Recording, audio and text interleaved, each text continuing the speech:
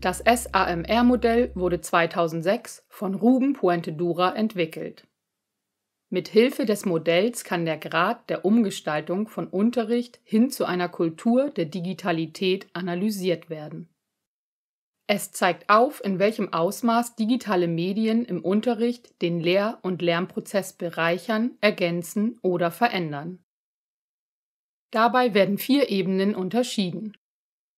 Substitution, also Ersetzung, Augmentation, Erweiterung, Modifikation, Änderung und Redefinition oder auch Transformation.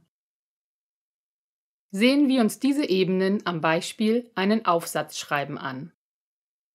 Im prädigitalen Unterricht wird ein Text mit der Hand auf Papier geschrieben. In der Substitution, der niedrigsten Stufe der digitalen Kompetenzen, wird der Text in einem Editor ohne Rechtschreibkorrektur getippt. Der Akt des Schreibens wird also einfach ins Digitale übertragen. Hier entsteht noch nichts Neues. Der Inhalt ändert sich nicht. Augmentation bedeutet, dass Funktionen wie die automatische Rechtschreibkorrektur oder Textformatierungen angewendet werden.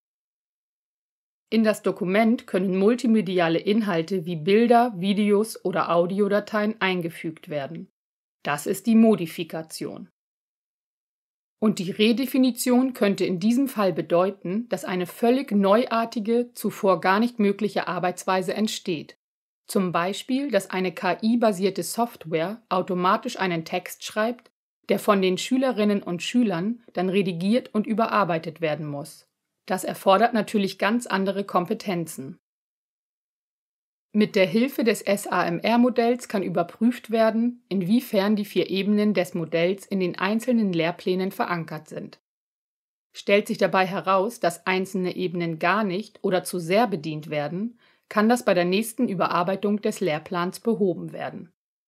Im Idealfall sollte die Verteilung der vier Ebenen ausgewogen sein, um einen zeitgemäßen Unterricht mit digitalen Medien zu gewährleisten